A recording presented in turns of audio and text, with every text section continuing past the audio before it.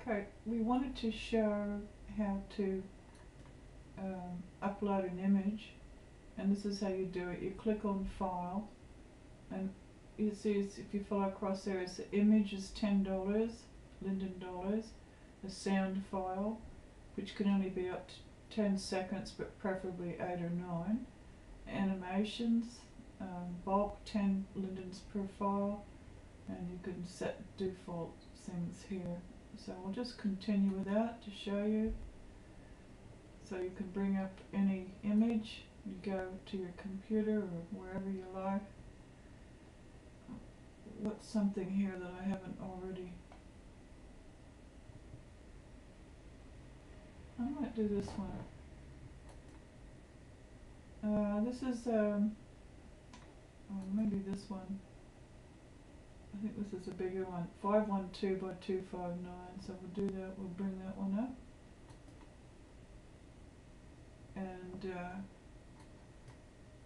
oh goody, this shows you here, you can change that, but I wouldn't, and description, um, I'm going to put, uh, PowerPoint presentation.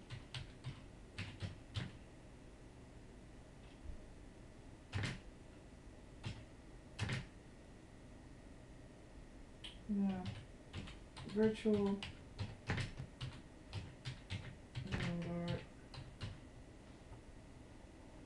That's an image.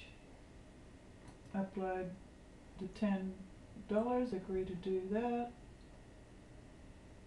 And you should hear like a little ding, yeah, it says you paid ten dollars and okay. And now I've got this, I've got to fill up, it's uploaded by myself, this is new. Can you see that? That's new. Profile. I don't know what happens.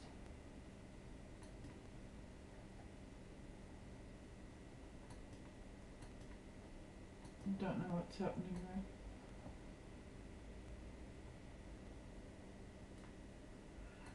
Alright, anyway. Um, UUID, and this is the key to this this texture now.